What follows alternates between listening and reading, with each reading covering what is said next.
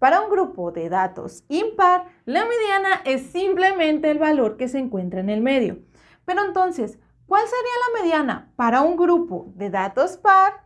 Miren, en estos casos la mediana es simplemente la semisuma de los dos elementos centrales, o sea, de la siguiente manera. Al decir semisuma nos referimos a que vamos a sumar esos datos y lo que nos dé lo dividiremos entre dos.